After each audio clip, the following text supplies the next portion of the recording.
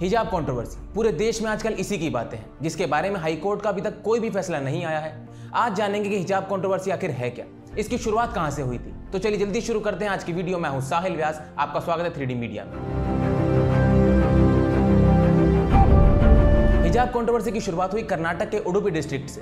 अक्टूबर 2021 में government PU college में कुछ छात्राओं ने हिजाब पहनने की मांग की। इसके बाद 31 दिसंबर को छह छात्राओं को हिजाब पहनने की वजह से कॉलेज में नहीं जाने दिया गया। और उन छात्राओं ने कॉलेज के बाहर ही प्रदर्शन शुरू कर दिया। कॉलेज प्रशासन ने 19 जनवरी 2022 को छात्राओं, उनके माता पिता और अधिकारियों के साथ मीटिंग की थी।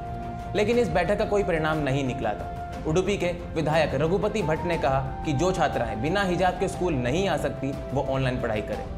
तीन फरवरी को पीयू कॉलेज में हिजाब पहनकर आने वाली छात्राओं को फिर से रोका गया। इसके बाद राहुल गांधी भी इनके समर्थन में आए और छात्राओं ने कर्नाटक हाईकोर्ट का दरवाज़ा खटखटाया। पाँच फरवरी को राज्य सरकार ने कर्नाटक एजुकेशन एक्ट 1983 की धारा 133 लागू कर दी।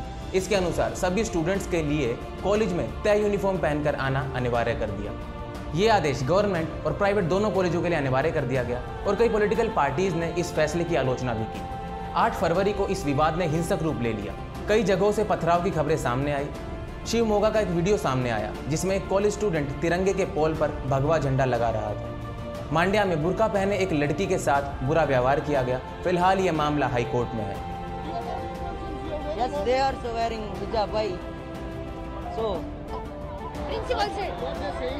They are saying if you, you are not allowed wearing the hijab in the class, otherwise you can go out of the campus. इसके बाद उडुपी के एमजीएम कॉलेज में हिजाब और भगवा की लड़ाई शुरू हो गई कुछ स्टूडेंट्स हिजाब पहनकर कॉलेज आए और कुछ भगवा पगड़ी और शॉल डालकर कॉलेज आए 8 फरवरी को हाईकोर्ट ने पहली सुनवाई की सीएम बसवराज ने स्टेट के सभी हाई स्कूल्स और कॉलेजों को तीन दिन के लिए बंद करने का ऑर्डर दिया।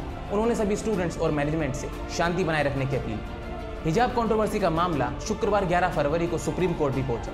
लेकिन सुप्रीम कोर्ट ने इस मामले की तुरंत सुनवाई से इनकार कर दिया। उन्होंने कहा कि इस मामले की सुनवाई उचित समय पर की जाएगी। इस मामले के बढ़ने पर सीएम बसवराज और सेकेंडरी एजुकेशन मिनिस्टर नागेश ने एडवोकेट जनरल के साथ मीटिंग की। इसके बाद मंत्री नागेश ने कहा कि मामला पहले ही हाईकोर्ट में है। और सरकार फैसले का इंतज़ार कर रही है।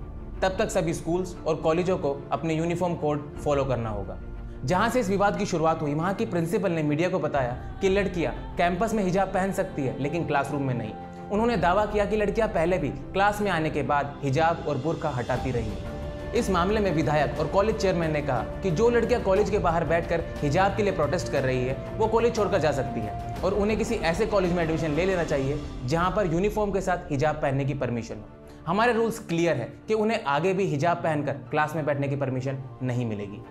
उडुपी कॉलेज में प्रदर्शन कर रही छात्राओं का कहना है कि कॉलेज में बीते साल हिंदू त्यौहार मनाए गए थे। हिंदू लड़कियों को बिंदी लगाने से नहीं रोका जाता है तो फिर मुस्लिम लड़कियों को हिजाब पहनने से क्यों रोका जा रहा है? इन स्टूडेंट्स का कहना है कि दो महीने में इनके एग्ज़ाम शुरू हो जाएँगे। इन्हें उसकी भी तैयारियाँ करनी है, लेकिन फ़िलहाल तो इन्हें पढ़ाई करने से ही रोका जा रहा है। कर्नाटक में हिजाब पहनने को लेकर ये विवाद कोई नया नहीं है। 2009 में बंटवाल के एसवीएस कॉलेज में ऐसा मामला सामने आया था।